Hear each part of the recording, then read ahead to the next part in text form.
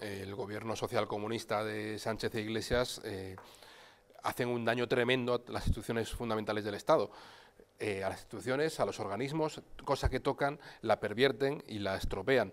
Pasó en Radio Televisión Española, una cadena, han puesto una administradora única temporal que lleva más tiempo casi que rufián en el Congreso, eh, con purgas, con manipulación, eh, con una, claro, caída posterior de la audiencia por todas esas cosas, un CIS que era un instituto prestigioso, muy prestigioso en España, que nunca habíamos conocido al nombre de los anteriores directores y que ahora ha habido, siempre ha habido un CIS y ahora hay un CIS de Tezanos, que es el CIS manipulado de Sánchez e Iglesias para mayor gloria de su gobierno. Eh, cada una de las instituciones que tocan la, la estropean. En el caso de la Fiscalía General del Estado, pues ya, fue una declaración de intenciones poner a Dolores Delgado, diputada socialista, ministra de Justicia socialista el día anterior, cosa que nunca nadie había hecho una, una falta de independencia así, que es una cosa antiética y profundamente antiestética. Además, una mujer que está relacionada con un magistrado suspendido por... Eh, Baltasar Garzón, se ha ido este fin de semana a Roma. Esto es, por vulnerar derechos de los, de los eh, acusados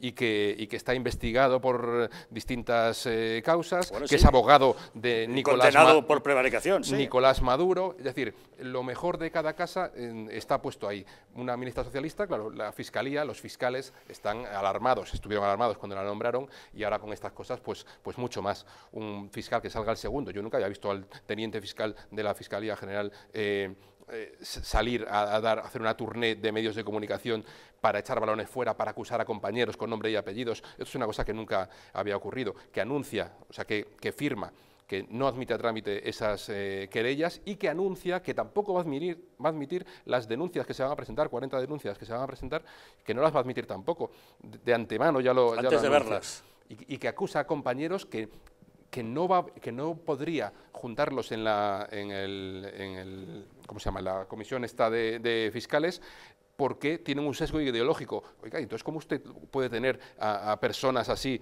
eh, en, la, en, la, en, la, fiscalía? Y, si, si, lo tienen, ¿cómo los mantiene allí? Y si no lo tienen, ¿cómo los va a excluir? Simplemente porque estén en desacuerdo con usted. Es, es todo tan turbio y tan, y tan siniestro que es digno del gobierno de Sánchez e Iglesias.